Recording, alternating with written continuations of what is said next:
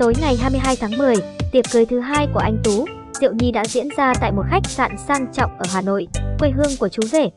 Khung cảnh tiệc cưới lần này ngập tràn hoa tươi và được trang trí với tông màu chủ đạo là màu trắng. Xuất hiện trong tiệc cưới tại Hà Nội, anh Tú diện vest màu đen bảnh bao còn Diệu Nhi bỗng trở nên dịu dàng, bẽn lẽn bên cạnh ông xã, khác hẳn với hình ảnh lầy lội thường thấy ở cô nàng. Cả hai tiếp tục khiến nhiều người phải xít xa với visual long lanh dạng ngời. Ngoài ra, anh Tú còn gây chú ý với những cử chỉ đúng chuẩn trong nhà người ta khi liên tục thể hiện sự quan tâm, ân cần chỉnh trang cho bà xã.